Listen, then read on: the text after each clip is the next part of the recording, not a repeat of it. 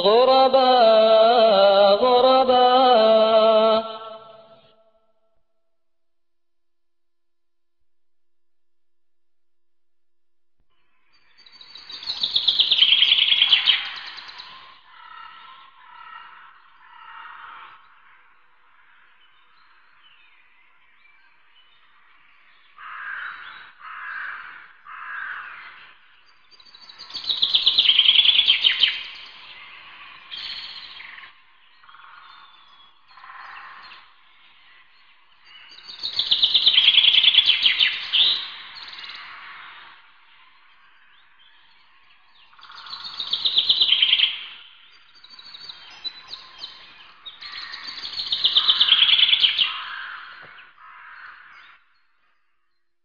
قال صلى الله عليه وسلم بدأ الإسلام غريبا وسيعود غريبا كما بدأ فطوبى للغرباء.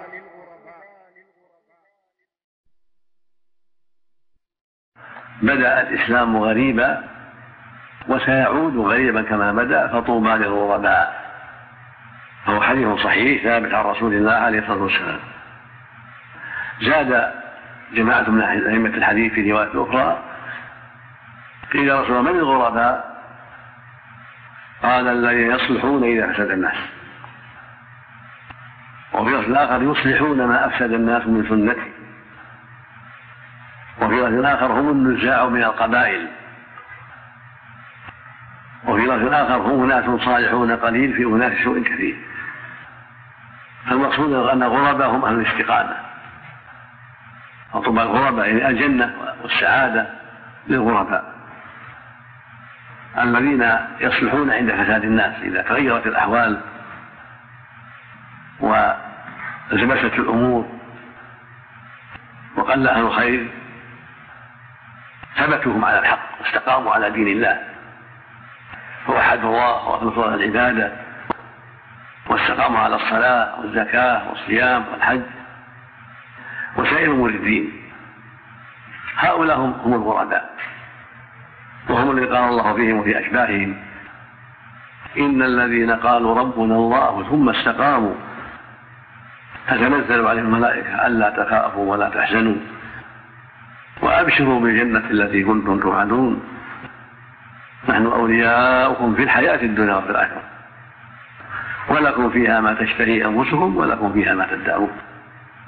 لما تطلبون. نزلا من غفور رحيم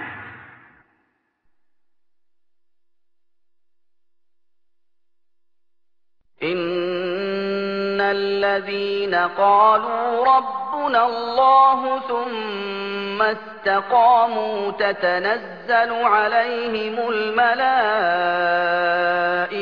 ألا تخافوا ولا تحزنوا تتنزل عليهم الملائكة ألا تخافوا ولا تحزنوا وأبشروا بالجنة التي كنتم توعدون. نحن أولياؤكم في الحياة الدنيا وفي الآخرة. ولكم فيها ما تشتهي أنفسكم ولكم فيها ما تدعون.